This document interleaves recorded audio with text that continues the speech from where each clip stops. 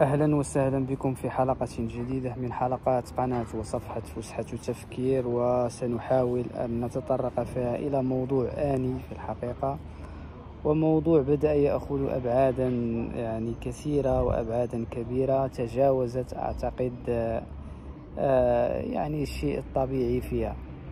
وهو الموضوع المرتبط بأزمة أو ما سمي بالعميد والكوفية أو منع إحدى عمداء كلية تقريبا أعتقد بن مسيك آه، بالدار البيضاء منع أحد الطالبات أو منع تسليم جائزة لطالبة ارتدت كوفية فلسطينية. في الحقيقة آه، الموضوع أعتقد بأنه أخذ أبعادا لا يجب أن يأخذها لأنه حتى في الحالة التي قد يكون فيها يعني آه، أو نعتبر فيها بأن العميد قد ارتكب خطأ لأنه ليس هناك ما يمنع من ارتداء لباس معين داخل الحرم الجامعي. من الناحية القانونية الإنسان حر أن يرتدي كوفية أو لا يرتديها فهذا أمر يخصه آه، هنا العميد أعتقد بأنه جانب الصواب من هذه الناحية أنه ليس هناك وأنتم تعلمون بأن حتى القاعدة القانونية تقول لا منع إلا بنص. بمعنى أن الإنسان لا يمكن أن يقوم بمنع أشياء دون نصوص قانونية واضحة وصريحة في المنع.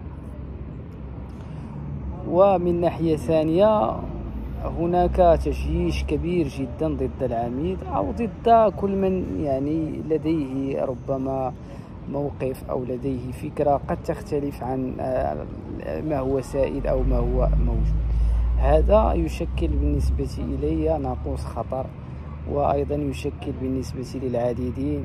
يعني آه، أمرا يحتاج إلى التوقف ويحتاج إلى الوقوف. لا يمكن أن تصبح هذه المواقع مواقع التواصل الاجتماعي مواقع للتحريض ومواقع للإدانة ومواقع للهجوم الشخصي على الناس بدعوى أنهم يعني قد أخطأوا أو قد يخطئون. من يخطئ فهو مخطئ ومن يصيب فهو مصيب.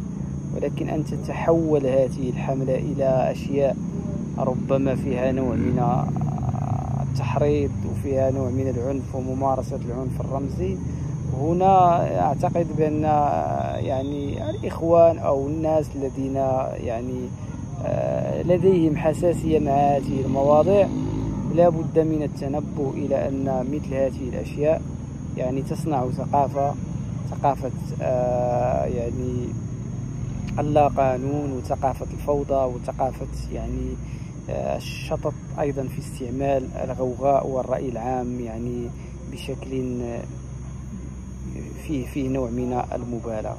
إذا قلت بأن الأمر يجب أن نأخذه بهذا الشكل. هناك شق قانوني لا يحق للشخص أو لهذا الرجل أو لهذا العميل كيفما كان الحال أن يقوم بهذا السلوك من الناحية القانونية. أتحدث لأن ليس هناك قانون يمنع شخصا معينا أن يرتدي لباسا معينا ولكن أيضا من الناحية الأخرى لا يحق للناس أن تتهجم على عميد أو غيره بدعوى أنه قد خالف القانون لأن القانون لديه أصحابه ولديه من هو حريص عليه ويحرص على تطبيقه وبالتالي لن تصبح الغوغاء قانون في حد ذاته.